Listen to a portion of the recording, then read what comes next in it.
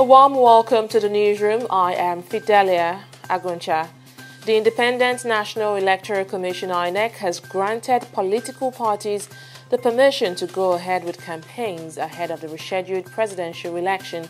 INEC spokesperson Festus Okoye in a statement said the commission reached the decision following due consultations with political parties.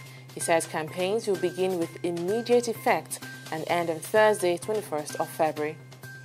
Meanwhile, the electoral body has denied allegations that the presidential candidate of the People's Democratic Party, Atiku Abubakar, offered bribe to its REC officer in Adamawa State. Well, this is in response to reports on social media that the former vice president had compromised the elections in Adamawa State, offering $1 million bribe plus a house in Dubai to the INEC official.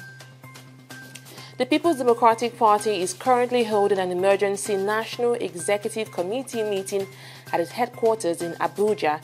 The meeting comes hours after the Independent National Electoral Commission INEC said political parties were free to continue with their campaigns. Present at the meeting is the national chairman of the party, Uche Secondus, presidential candidate Atiku Abubakar, Senate President Bukola Saraki, and other party stalwarts. Former Nigerian President Goodluck Jonathan has called for peace ahead of the coming elections. At a meeting with Niger Delta youth leaders in Yenagoa, Jonathan urged politicians in the country to embrace peace and shun violence. He also encouraged youths not to allow themselves to be used by selfish politicians. Well, the Federal High Court sitting in Abuja has stopped the Economic and Financial Crimes Commission EFCC from declaring the chairman of the defunct Pension Reform Task Team Abdurrashid Maina wanted. Delivering judgment on the case, Justice Gua Ogunbanjo ruled that the move by the anti-graft agency to declare Maina wanted was unlawful and infringed on his fundamental human rights. The National Bureau of Statistics says the Federal Account Allocation Committee has disbursed a sum of 270.17 billion naira to the federal government in January 2019. In its latest disbursement statistics posted on its website, the NBS said states received a total of 178.04 billion naira, while local government received 133.83 billion naira.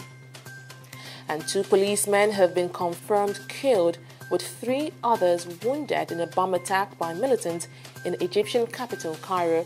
The attack has been confirmed by the Interior Ministry, which says security officers are in pursuit of the perpetrators.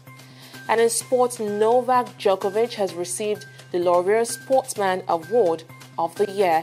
The 31 year old Serbian is winning the award for a fourth time, beating the likes of Kylian Mbappe and NBA superstar LeBron James.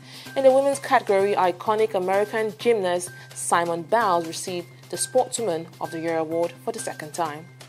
And that's the latest from our newsroom. Thank you so much for watching. I am Fidelia Agoncha. Bye for now.